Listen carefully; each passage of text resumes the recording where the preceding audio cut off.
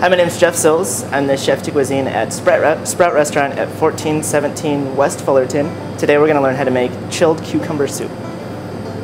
First, we're going to start uh, with a seedless English cucumber. Um, you can find these at really any of the farmers market right now, or as it gets warmer in the season, these guys usually come up later uh, July.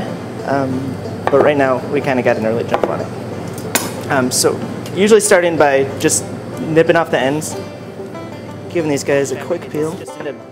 Big enough chunks that we can go ahead and process it in a food processor. The, the second ingredient in this soup is actually called a garlic scape. This is the shoot of a garlic plant as the garlic just starts to come up in the spring or the summer. You'll find these guys shooting up, and this is actually going to turn into the, the blossom. Um, unfortunately, I don't want to use that part right now. It gets a little too um, too strong for our application, so we're just going to use the shoots or the actual scape part of it. And again, just into large enough chunks that we can process this.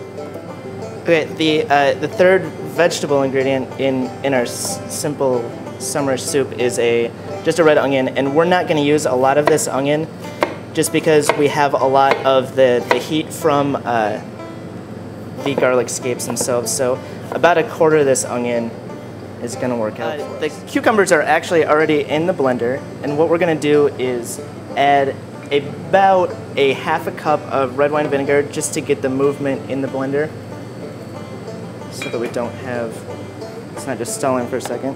Once that gets going, we're going to add the rest of our ingredients. So always start the blender on low.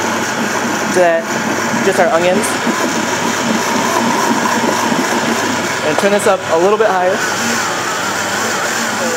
We use um, grapeseed oil instead of just plain oil or extra virgin olive oil. And the grapeseed oil is more neutral. We don't want our soup to taste like olives, even though there's some fabulous extra virgin olive oil out there.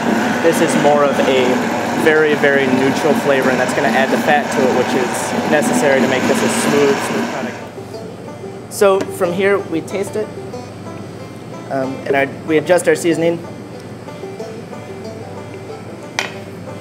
Usually just a little bit of salt, a little bit of sugar to balance out the amount of acid that we've put in here.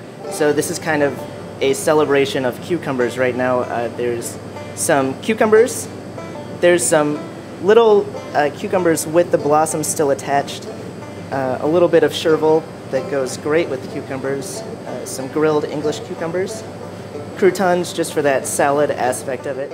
Shave this last bit of the baby cucumber on this dish and then just add the soup. So there you have it, chilled cucumber soup with garlic scapes. Uh, I'm Jeffrey Sills from Sprout Restaurant in Lincoln Park. Happy summer.